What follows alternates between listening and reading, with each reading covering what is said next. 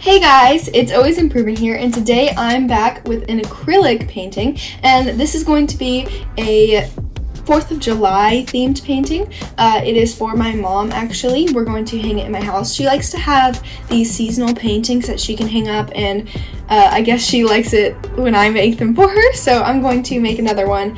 Um, I've done some of these in the past. I don't know if I've shared them on the channel, but I will link them in the card if I have. Um, but for this one, what she wanted was an assortment of flowers. Um, and the sizing on these seasonal paintings has to be a 12 by 24 canvas, so it's a little bit difficult sometimes to kind of come up for a composition that fits that ratio. So the first thing I did that was in the very beginning was just sketch out a couple ideas, um, kind of understand what I wanted and how I would lay out all the elements. And I decided on a kind of, I don't know what they're called, uh, I think galvanized bucket, uh, a galvanized uh, metal bucket um, where it's kind of like shiny but it also has like matte parts. I don't know, it's an interesting texture, but that's where I took the um, inspiration from for the bucket that I'm painting right now. And I really actually like painting metal. Um, I think it's because it's one value and so it kind of it makes it easier uh, to focus on getting all the value shifts you want and you don't have to worry about the hues of the color. And um, yeah it's just really easy and it's nice and relaxing and it's fun to get that gradient. So that was really fun. Although because I did the background in white and gray I was kind of worried about how it would turn out. I didn't know if it would be um, too much of one color too monochromatic. Um, but I think that while, when I add like other colors, it gets a little bit better and a little bit more interesting. So the basic process for the bucket um, was basically I kind of decided where I wanted the highlight to come from and then where the highlights were I figured out where the shadows would be so I decided that the right side would be more in shadow and that the left would have an area of like almost pure white uh, but not quite. So it was like a, a strip white uh, or really like gray color. And then after doing that, I wanted to start on the flowers. Uh, I did research a couple of different flowers, but I'm not going to say that the flowers that I made in this are any one specific like breed of flower or anything, um, because I just kind of looked up like tall blue flowers and picked out a couple that I liked. Like I don't, um, I don't think that a lot of people um, know like a bunch of different species of flowers, and so I don't think it's a big deal to compromise on that point and uh, create a composition of things that look like flowers, um, and people can recognize those as flowers, and it doesn't need to be a specific species of flower. But, anyways, um, I, of course, started with the background. So I started with those blue tall flowers. Um, and I just wanted a base layer of paint so that I would be able to change it in the future. I just wanted to make sure that my composition was set and that I knew where certain flowers were going.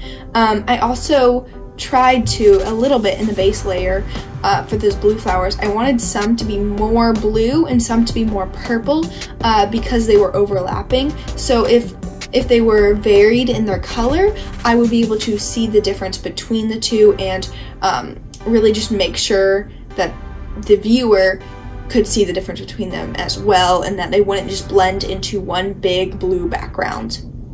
After doing the blue flowers, I did move on into the roses and to the red flowers. Um, I guess the roses are the only ones that I really have for sure that they are a certain type of flower. Um, but I just, again, wanted to get those base areas and just to get a nice layer down for the paint in general where it went.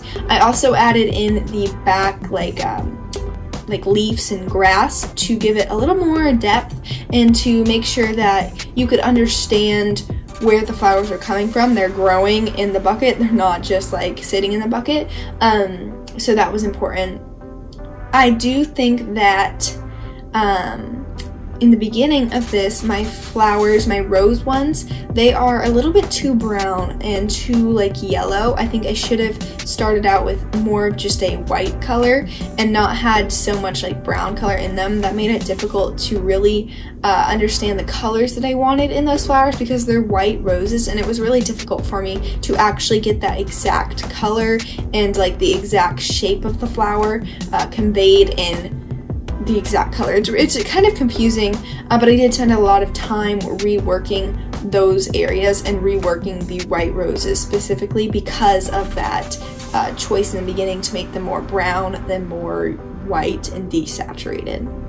Throughout the middle portion of this painting, I was really just trying to figure out what I wanted and figure out how to convey the details of the flowers because at this point I definitely had already laid down all of like the base areas of paint. Like I knew where I wanted everything and I knew um, where the flowers would be. I just didn't know how to convey that detail of the flower and convey uh, all the shadows because roses specifically, which again I spent forever trying to work out all these details, they have a lot of detail. They have a lot of areas where there is darker shadows contrasted right next to each other with very bright white areas. And so that was really hard for me to do. And it ended up reworking these flowers a ton.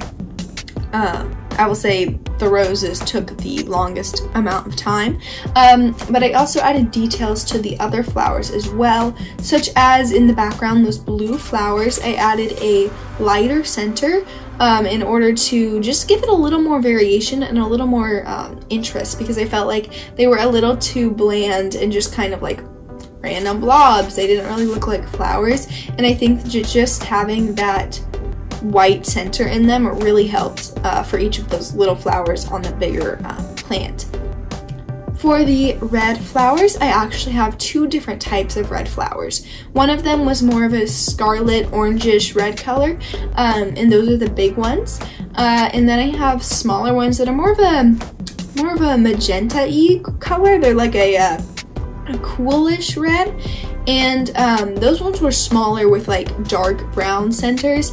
Um, and I think that that also just helped to add interest and some variation uh, because I felt like I needed more uh, more flowers that were smaller, but I didn't, um, I didn't want to make the like only red flower be small because then I felt like it would fade into the background and I wanted an equal amount kind of of red, blue, and white. So I think that by having smaller red flowers, I was able to add a bit more detail without compromising the amount of red in the piece. And after getting most of the details established, I moved on into just really small tweaks that I needed to get done before calling this piece finished. Um, this included just fixing a couple of mistakes that I had made. Uh, I did end up going back over a lot of the area on the bucket. Um, just kind of fixing some of those value shifts. I reworked the roses again. I made the petals kind of more generalized and with a little bit less detail, but with harsher contrast because I felt like whenever I looked at my reference photos of white roses, there were really bright areas and then there were really dark areas and there wasn't a lot of mid-tones. So I felt like mine had too many, too much of like a mid-tone area uh, so I worked to reduce that in the detail stage here. I also added um, a bit more of a shadow on the ground for the for the background.